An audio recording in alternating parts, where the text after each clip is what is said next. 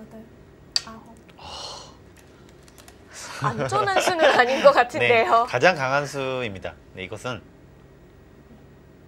이제 집으로는 역전 안 당하겠다. 차이를 벌리겠다는 거군요. 나오게 된다면 이 돌은 좀 더 부담이 되는데요. 이쪽이 있다. 자, 이쪽이 좀 있기 때문에 30초. 하나, 최대한 강하게 뒀습니다. 셋, 하지만 좀더 어, 기분 나쁘긴 하거든요. 이쪽이요.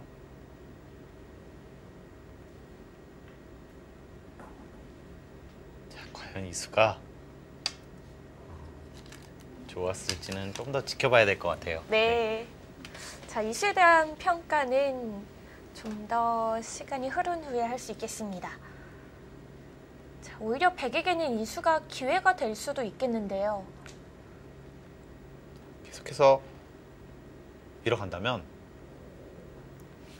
자, 받겠다는 뜻이거든요. 안 받는다면 의미가 없습니다. 자,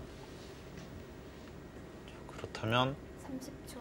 하나, 자, 둘, 이런 곳을 셋, 와서 넷, 다섯, 자, 아까보다는 훨씬 더 일곱, 압박을 할 수가 있죠.